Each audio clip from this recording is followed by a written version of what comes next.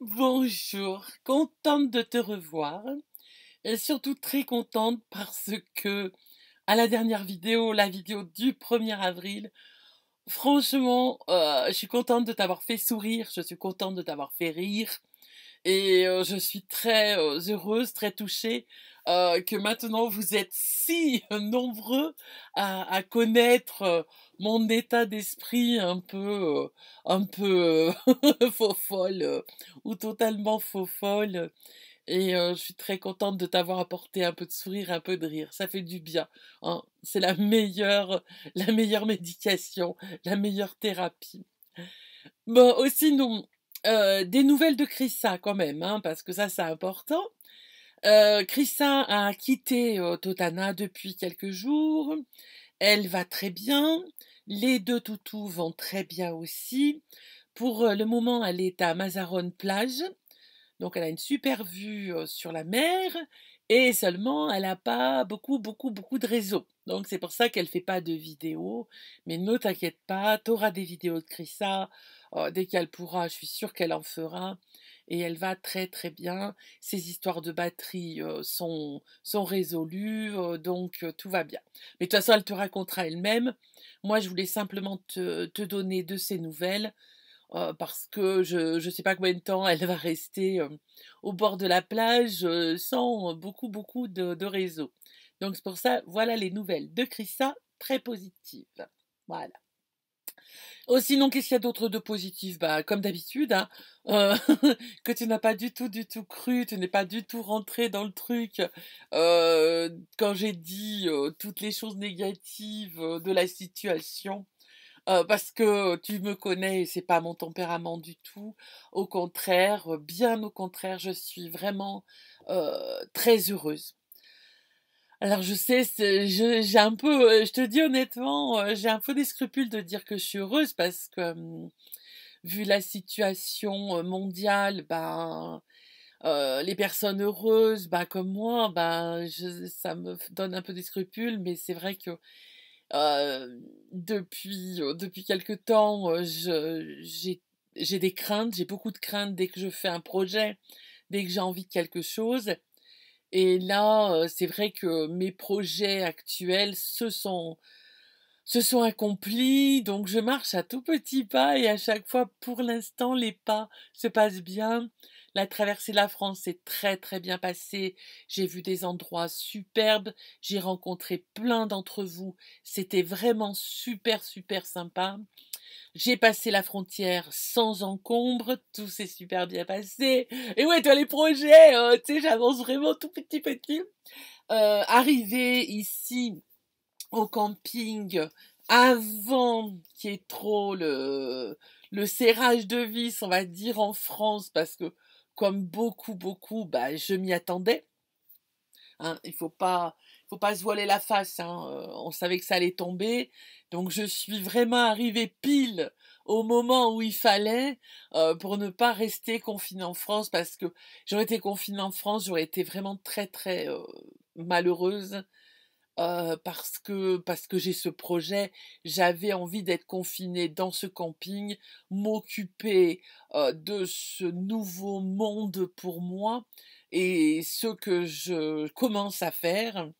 Et c'est rigolo parce que je m'en rends pas compte, mais ça fait qu'une semaine que je suis arrivée au camping et hum, je sais pas, pour l'instant je m'en lasse pas, je, suis en train de lâcher la pression et ça fait un bien fou, vraiment un bien fou. Donc je vais te présenter quand même un petit peu plus sérieusement euh, le camping pour que tu fasses vraiment connaissance avec le camping. Alors, c'est une situation quand même particulière. Euh, c'est vrai que très peu de, touristes, d'étrangers sont attirés par la région euh, où je suis. C'est une région de montagne. On est quand même, c'est vrai qu'on est à 840 mètres d'altitude, donc un climat euh, de montagne. Là, actuellement, la nuit, il fait froid. Euh, sur le matin, il fait froid. Et là, maintenant, tu vois, ce matin, j'avais un pull. Bon, bah là, là, j'ai qu'un petit polo. euh, ça va, il fait, il fait vraiment, il fait vraiment chaud. J'allais dire, il fait bon, mais même pas, quoi. Il fait chaud. Et cet après-midi, j'irai faire un tour à vélo. Je, vais garder ça quand même, mais je sais que je vais avoir chaud, donc c'est quand même bien agréable. C'est un climat de montagne. Voilà, il faut bien se le dire. Et je vais, je vais te montrer ça tout de suite et je te parlerai de mon prochain projet. Donc, pour parler plus sérieusement du camping.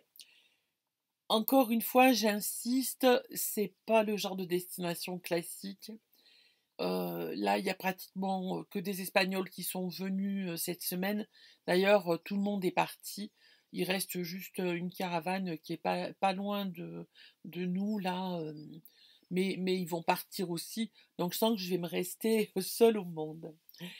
Donc c'est un camping très très familial, pas très grand. Il loue des chalets. Il y a deux types de chalets. mais en tout cas, je ne connais pas les tarifs à la journée, à la semaine ou au mois. Je, pense qu'ils font des tarifs dégressifs. Je te donne le lien du site du camping. Comme ça, tu verras un petit peu mieux parce qu'il y a une vue aérienne, etc. la réserve d'eau, parce que c'est une réserve hein, de, de de l'Ebre, ou je sais pas comment on dit en français, Hébré ou Ebre, est très grande et très importante un jour, peut-être que j'arriverai à aller à vélo jusqu'au barrage, parce que je l'ai passé avec Oclico, mais pour aller à vélo, ça me fait une trotte encore à monter, descendre. Je te ferai voir le barrage petit à petit, te faire voir aussi. Je vais trouver un moyen pour filmer avec mon téléphone, tu vois. Je pense garder la fixation comme ça et, l'accrocher, me faire un truc au collier comme ça parce que j'ai pas la GoPro, j'ai plus la GoPro, je l'ai laissée à Chrissa. Donc j'ai que le téléphone maintenant pour filmer en, même temps comme ça sur le téléphone à vélo pour te faire voir. Donc c'est un camping qui permet la location d'une parcelle à l'année. Donc une parcelle à l'année c'est 900 euros. tu peux utiliser à volonté bien sûr les sanitaires il y a aussi la vidange et l'eau propre pour les camping-cars. Ah, au niveau des eaux noires, je sais pas. J'ai pas fait attention, comme ça me concerne pas. Que j'ai toilette sèche, j'ai pas fait attention, mais bon, c'est un détail ça. Hein. donc 900 euros, tu as l'eau. Il y a des petites fontaines dans le camping que tu peux utiliser avec de l'eau, bien sûr, de l'eau potable. Pardon, j'oublie de dire surtout que c'est de l'eau potable, ça c'est quand même fondamental. Par contre, tu payes au mois ta consommation d'électricité. Moi, j'aime bien parce qu'après tout, euh, si tu n'as pas envie de, trop payer d'électricité, tu peux très bien te débrancher et utiliser ton panneau solaire parce que, encore une fois, on est en montagne, on a un soleil absolument fabuleux et, et je vois que la batterie, la batterie, elle est complètement, elle est tout le temps pleine, quoi. Hein c'est vraiment tout le temps plein. donc tu peux jongler entre payer l'électricité secteur et ton panneau solaire. Ça, c'est quand même un avantage. Ou sinon, ben, comme beaucoup d'endroits en Espagne, il y a le mmh, marchand de gaz qui passe dans le camping si tu veux en acheter. Donc ça, c'est toujours appréciable si tu as l'adaptateur, bien évidemment. Là, on le voit pas bien, mais il y a un autre bâtiment qui a la même surface que les sanitaires, qui est vers l'entrée à droite, en rentrant à droite. Et là, ça fait petit, petit snack, bar, qui est assez sympa. Actuellement, c'est fermé. Je te montrerai quand ça ouvrira. J'ai même pas demandé quand ça ouvrira. mais je te montrerai quand ça ouvrira avec des tapas, des trucs comme ça. Oh, sinon, sinon, bah moi, mon projet bah, reste le même du début. J'ai envie d'avoir un pied-à-terre, j'ai envie d'avoir un QG. Alors un QG, pourquoi je dis un QG Parce que pour le moment, tant qu'on est au, dans le gros, dans le pic de la pandémie, je vais rester déjà trouver un mobilhome, m'installer y vivre un peu, vraiment m'installer correctement. Et puis après, je vais faire des, des va-et-vient à droite et à gauche tant que on est confiné, coincé et tout. Et puis après, dès qu'on sera libéré, bah là, je partirai comme j'aime dans d'autres pays. Je pourrais recommencer à vadrouiller en France comme j'en avais déjà envie. maintenant, ceux qui me demandaient, oui, mais t'as changé d'avis, tu voulais bourlinguer en France? Ben oui, mais je sentais bien que qui arrive là aujourd'hui, le confinement allait tomber. Et encore une fois, j'avais pas envie d'être confinée en ayant coquelicot archi archi plein. donc j'étais pas dans une situation superbe. Mais ça reste toujours le projet de bourlinguer en France. Et de toute façon, j'aimerais aussi bourlinguer ailleurs, Pays-Bas, Allemagne, toujours l'Allemagne, qui me plaît beaucoup. Donc oui, oui, j'ai envie d'y retourner. ce n'est pas parce que je vais prendre un mobilhome, un pied à terre, que, que je vais arrêter. Alors pour le mobilhome, il y en a un qui me plaît vraiment beaucoup, beaucoup. Alors, il a tout en plus, un O'Hara, je te le montre.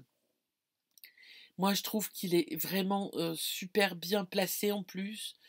Effectivement, il y a un mobilhome devant, mais bon, on va pas chipoter, tu vois. Je vais pas râler parce qu'il y a un mobilhome devant. J'aime bien parce qu'il y a une jolie vue sur la réserve d'eau et le petit lac. moi, je disais toujours lac privé, mais en fait, Bon, de, l'autre côté, les gens peuvent y atteindre ce petit lac. Hein. Il y a un grillage de protection quand même pour pas que les gens rentrent finalement dans, le camping. Mais les gens, d'après ce que j'ai vu, parce que j'ai fait quand même presque le tour du petit lac à pied comme ça, n'y ont pas accès parce qu'on ne peut pas faire le tour vraiment du lac. C'est très compliqué d'avoir accès au camping par l'extérieur quand même. Enfin bon, de toute façon, ce mobilo me plaît beaucoup. Actuellement en Espagne, c'est exactement la même chose qu'en France. Les Espagnols ont envie euh, d'avoir une résidence secondaire. Donc, euh, comme les Français, les Espagnols se tournent vers euh, les mobilhomes, vers des caravanes aussi, enfin toutes sortes de choses pour les campings. Donc c'est pour ça que là, donc depuis une semaine, j'ai fait la connaissance bah, de la famille, hein, des propriétaires, qui sont vraiment, vraiment des gens adorables, vraiment super super sympas. Et le mobile home, là, c'est vrai qu'il m'intéresse beaucoup parce que il est récent, il n'est pas très grand, il est vraiment équipé pour l'hiver, parce que contrairement à l'autre, l'anglais, qui me plaît beaucoup, ceux-là ne sont pas vraiment équipés pour la neige, la pluie, le vent froid. Il ne faut pas oublier qu'ici, je peux avoir de la neige. Comme tu as vu quand je t'ai amené jusqu'ici, il y a des piquets sur les bords de route. Ça veut tout dire, c'est qu'il y a de la neige.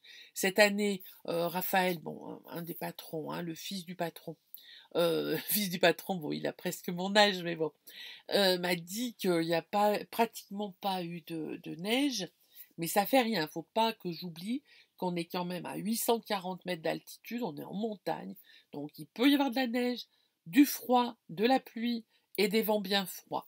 Donc il faut vraiment un truc isolé, parce que euh, sur certaines chaînes, popote et potage et potin, popotin, là je sais pas quoi, euh, bon, j'étais désolée pour eux et tout le monde leur a dit, leur mobilhome n'est pas, n'est pas fait euh, pour l'hiver.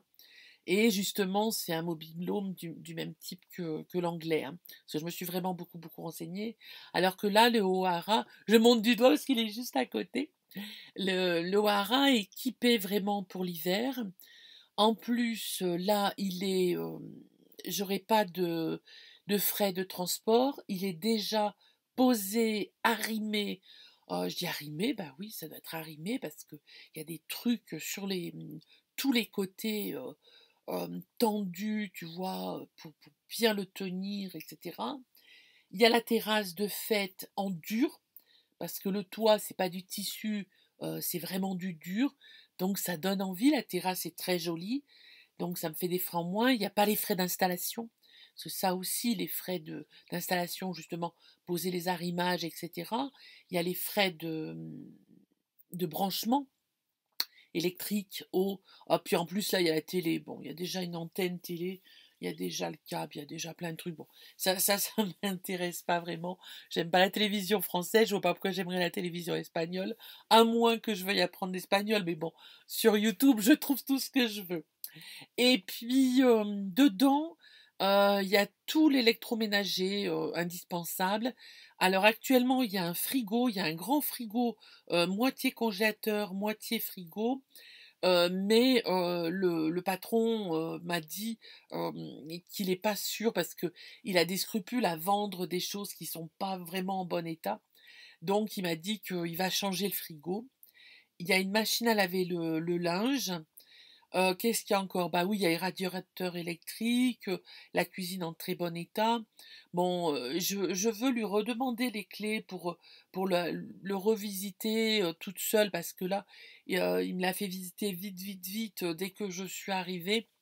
Donc j'ai, pas trop eu le temps de, voir vraiment, tu, tu sais, de me poser dedans. J'étais un petit peu en plus dans, bon, dans l'excitation d'être arrivée à bon port donc, tu vois, j'ai besoin de me poser dedans pour bien sentir comment ça se passe, quoi, tout simplement. Mais en tout cas, je suis, je suis emballée. Comme tu le sens, je suis emballée. je vais les, quand même laisser couler un petit peu de temps, puisque eux cherchent d'autres mobilhomes, puisqu'ils ont beaucoup, beaucoup de, de demandes pour des mobilhomes. Et comme tu le vois, il ne, il ne se bloque pas sur un type de mobilhome, il ne se bloque pas sur une marque. Toi, tous les mobilhomes ne sont pas des O'Hara. Il y, a, un peu de tout. très, très franchement, ils s'en, ils s'en fichent, quoi. Ils s'en fichent. le seul truc qui voilà, c'est que mmh, l'emplacement où il y a le, le, le mobilhome, c'est un emplacement, comme il m'a dit, qui, est petit. Il est honnête, au moins, il est petit. Il me l'a dit, ça. Parce que à terme, peut, peut-être, je ne sais pas, que j'aurais envie de, mettre quelque chose pour abriter mon vélo, je ne sais pas, ou des outils, je ne sais pas. J'extrapole complètement. peut-être que pour 900 euros par an, me reprendre une autre parcelle,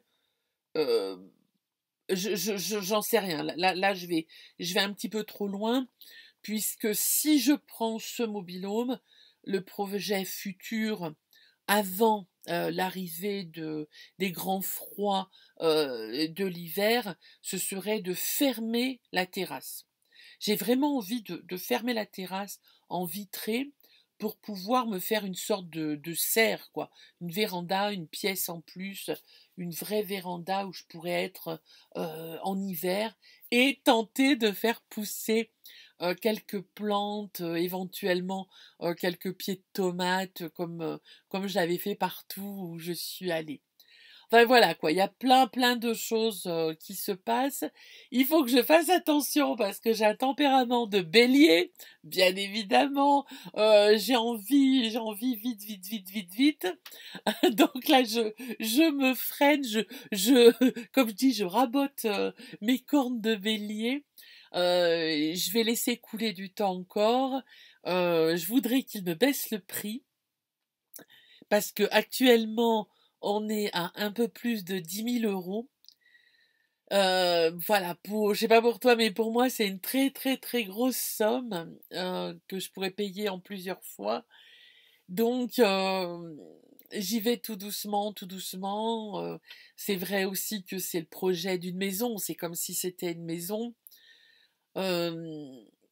Donc, c'est quand même un gros gros projet. tu vas me dire 10 000 ou 11 000 euros c'est pas énorme par rapport au projet d'une maison, mais quand même, quand même, voilà, j'ai envie d'avoir quelque chose de, sécurité. Et c'est vrai que les deux hommes, là, le père et le fils, m'ont vraiment rassuré. Puis le fait qu'il ait envie de changer le frigo parce qu'il trouve qu'il est trop vieux et du coup il aurait des scrupules parce que ça l'embête et tout. tu vois, ça me. sans demander d'argent en plus, c'est rassurant. C'est rassurant. Je me dis, bon, ça veut dire que même si j'y connais rien, est-ce que la structure en bas n'est pas bouffée par l'humidité? Est-ce que si, est-ce que là Donc, bon, tu vois, ça me, ça me rassure un, tout petit peu. Au fait, son orientation, parce que j'ai quand même regardé l'orientation du mobilhome, il est pratiquement plein nord, le côté, le côté où il y a la salle de, douche et une des chambres. Oui, parce qu'il y a deux chambres, salle de douche, WC, et puis après il y a la pièce à, vivre, quoi. Donc, excuse-moi. Oui, la chose que j'ai oublié de lui dire, bah, ou de leur dire aux deux, parce que c'est vrai que j'ai plus parlé avec le fils là maintenant, c'est que le lit, les petites affaires qu'il y a, table de nuit, qu'il y a dans, la, dans une des chambres ne m'intéresse pas du tout, du tout, puisque moi cette pièce m'intéresserait pour en faire un atelier un atelier de, peinture, de couture, de bricolage, tu un petit peu à part, où je pourrais poser mon, mon iPad, écouter un bouquin, parce que j'adore écouter un bouquin en bricolant et tout ça, et laisser mon bazar comme ça. Et si jamais, toi, toi, l'abonné, mais oui, on va être libéré un jour, mais oui, si toi, l'abonné, t'as envie de me venir, de me faire une bise, à la montagne, eh ben tu pourras, en passant, en pointant du nez vers plein sud de la plage, des plages très très chaudes d'Espagne, eh ben tu pourras passer par ici, venir ici, qu'on se fasse un apéro sur la terrasse. En tout cas, en parlant de plage et tout, euh, Chrissa m'a dit que où elle est, euh, là, c'était bondé de monde, il y avait des toiles de tente, des trucs comme ça. c'est complètement en opposition d'où je suis, où je suis pratiquement seule au monde. et, c'est chouette puisque elle, elle, elle est très contente là-bas avec plein plein de monde. Et moi, je suis très très contente ici en n'ayant pas grand monde. Mais enfin bon, il y a quand même le village. Je t'amènerai plus tard. je t'ai dit petit à petit, je te ferai voir. Il y a quand même le village. Bon, les trois, il y a trois petits bars euh, resto. Tu ici, c'est toujours un peu bar-resto, parce qu'il y a beaucoup de tapas, il y a beaucoup de choses comme ça, euh, sont fermés à cause du, confinement. Euh, il y a par contre une boulangerie-épicerie dans le village. Il y a une banque avec une caisse express, il y a une pharmacie. voilà à peu près grosso modo ce que j'ai vu. Et sinon, bah, à vélo, quand je pars à vélo, il y a d'autres villages. Je n'ai pas bien entendu ce que vous avez dit. Ah m'embête. il m'embête. il, il pense que je lui parle. donc il y a d'autres villages tout le long hein, de, du lac d'Ebré. Et c'est vraiment super beau. je compte vraiment y aller. je compte y aller. Voilà, je compte vraiment y aller. Bon, aussi sinon, pour faire les courses, bah, je vais à, Reynosa. je vais y aller d'ailleurs cette, cette, semaine. Et à Reynosa, bah, il y a plein de, de commerce. Hein. Il y a Lidl, il y a Mercadona, j'ai vu, il y a un, un Lupa, il y a un... Qu'est-ce que j'ai vu encore? Je sais plus. Mais enfin, au niveau alimentaire, il y a vraiment beaucoup de choses. Et ensuite, il y a un grand, grand chinois. Il y a un grand, grand chinois. Donc ça, c'est absolument génial.